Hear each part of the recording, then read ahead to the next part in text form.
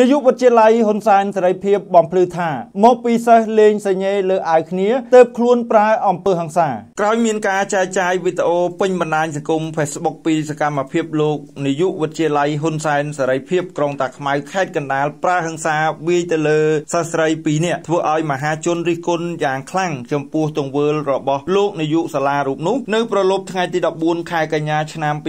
2022លោកនាយករងវិទ្យាល័យហ៊ុនសែនសេរីភាពក្រុងតាខ្មៅបានចេញមុខធ្វើការបកស្រាយថា កាលពីព្រឹកមិញនេះថ្នាក់ដឹកនាំសាលាបានប្រជុំពិភាក្សាគ្នានិងមានការព្រួយបារម្ភយ៉ាងខ្លាំងដោយសារតែលទ្ធផលប្រឡងឆមាសលើកទី1ទើបបញ្ចប់ថ្មីថ្មីនេះសិស្សថ្នាក់ទី12បានធ្លាក់ច្រើនហើយការប្រជុំនេះគឺដើម្បីរកវិធីសាស្ត្រធ្វើយ៉ាងណាឲ្យកម្រិតសិក្សារបស់បងប្អូនក្មួយក្មួយថ្នាក់ទី12ឡើងខ្ពស់វិញនិងជាប់ក្នុងការប្រឡងឆមាសលើកទី2ពិសេសជោគជ័យក្នុងការប្រឡងបាក់ឌុបនាពេលខាងមុខលោកនាយករងបន្តទៀតថាខណៈដែលថ្នាក់ដឹកនាំសាលាកំពុងគិតកំពុងព្រួយបារម្ភស្រាប់តែបងប្អូនសិស្សថ្នាក់ទី12មិននាំគ្នាចូលរៀនបែរជាបង្កើតព្រឹត្តិការណ៍មួយដោយលេងសញ្ញេលើអាវគ្នាទៅវិញទៅមកហើយខាងថ្នាក់ដឹកនាំសាលាក៏បានប្រកាសតាមមីក្រូឲ្យបងប្អូនចុះមកក្រោមបន្តិចក្រោយមកពួកគេក៏ព្រមចុះមកអ្វីដែលជាការហួសចិត្តនោះគឺពេល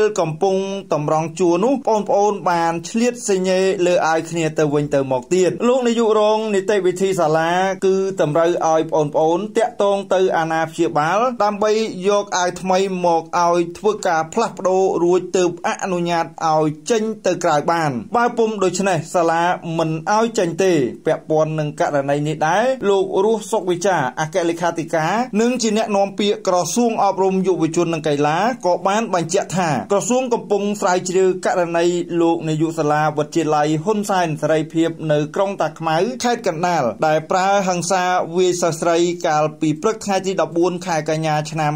2022នេះលោករស់សុវិចាបានបន្តថាករណីមានបាតុភិបនៅតាមគ្រឹះស្ថានសិក្សាគណៈគ្រប់គ្រងគ្រឹះស្ថានសិក្សាត្រូវចាត់វិធានការរដ្ឋបាលបើចាំបាច់អាចសហការជាមួយមន្ទីរអប់រំយុវជននិងកីឡាទាំង25ខេត្តរាជធានីដែលជាសេនាធិការរបស់ក្រសួងអប់រំយុវជននិងកីឡាវិធានការរដ្ឋបាលមាន2កម្រិតវិធានការរដ្ឋបាលថ្នាក់ទី1គឺស្ដីបន្ទោសជាលិលាអសរនិងផ្លាស់ប្ដូរដោយបង្ខំនិងវិធានការរដ្ឋបាលទី2គឺលុបឈ្មោះចេញពីក្របខ័ណ្ឌលោកបានបន្តទៀតថាក្រសួងអប់រំយុវជននិងកីឡាស្វាគមន៍និងថ្លែងអំណរគុណចំពោះកិច្ចសហការវិជ្ជមានពីក្រសួងស្ថាប័នពាក់ព័ន្ធដៃគូអភិវឌ្ឍបុគ្គលិកអប់រំអាជ្ញាធរមូលដ្ឋានក្នុងការចូលរួមលើកកម្ពស់សុខភាពសិក្សា និងលុបបំបាត់អំពើហិង្សាដែលត្រូវការចូលរួមពីគ្រប់តួអង្គពាក់ព័ន្ធរួមទាំងមេដាបេដាផង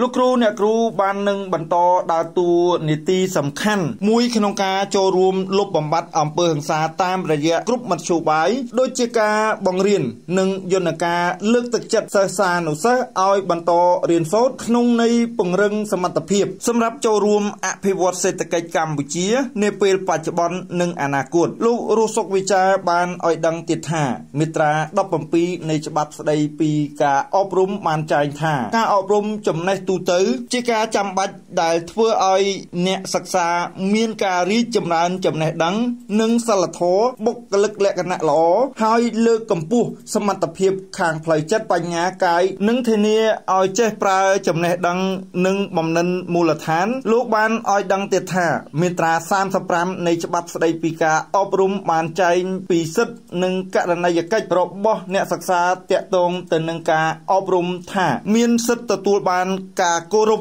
និងការយកចិត្តទុកដាក់ចំពោះសិទ្ធិមនុស្សជាពិសេសសិទ្ធិមានសេចក្តីថ្លៃថ្នូរសិទ្ធិរួចផុតពីទារុណកម្មឬការដាក់ទណ្ឌកម្មលើរាងកាយនិងផ្នែកស្មារតីអ្នកសិក្សាមានករណីយកិច្ចគោរពបទបញ្ជាផ្ទៃក្នុងរបស់គ្រឹះស្ថានសិក្សាតម្លៃខាងសមធម៌យិនដឺដោយអនុវត្តសិទ្ធិរបស់ខ្លួនប្រកបដោយស្មារតីទទួលខុសត្រូវ